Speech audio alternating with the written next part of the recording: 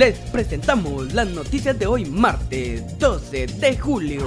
Conducía vehículo con reporte de hurto mediante estafa en uno de los recorridos de seguridad ciudadana en la zona 12 de Paxicia, Chimaltenango fue detenido Eric Javier Copoy Juárez de 29 años, sorprendido cuando conducía un automóvil con placa T635 HZR marca Honda modelo 2019, al cual le aparece reporte de hurto mediante estafa de fecha 14 de septiembre del 2021 en Huehue, Tenango.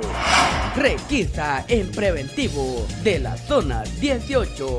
Policías e investigadores de la PNC en apoyo al sistema penitenciario participan en una requisa en el centro preventivo de la zona 18 de manera preventiva y en busca de ilícito.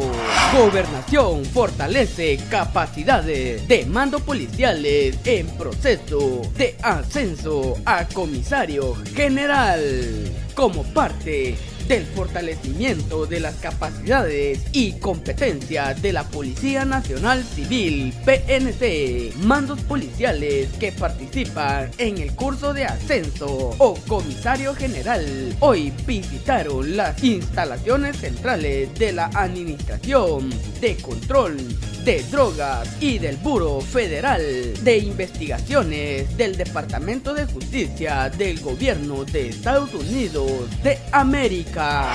Capturado por conducir vehículo robado.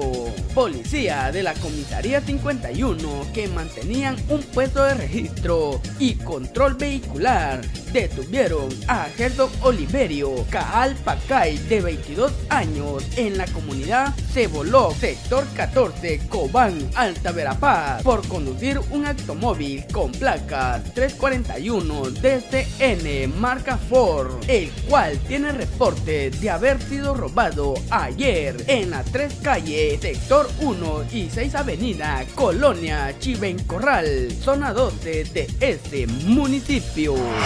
Hombre presuntamente bajo efectos de licor es capturado cuando golpeaba a su conviviente en el cantón Shepatú, aldea Sheyuyu, Nahualá, Sololá, agentes de la Policía Nacional Civil de la Comisaría 33 detuvieron a Eric Ishmata Tahai, de 28 años, al sorprenderlo presuntamente bajo efectos de licor cuando golpeaba a su conviviente de 19 años. Trasladan a tribunales a Marero 18 secuestradores capturados por comando antisecuestro. Hombre de 83 años liberado sano y salvo en dos escenarios diferentes. Policía del comando antisecuestro de la Policía Nacional Civil capturaron a tres presuntos secuestradores e integrantes de la Mara 18 y rescataron sano y salvo al hombre por exigían 800 mil quetzales de rescate luego que fuera plagiado ayer en la zona 7.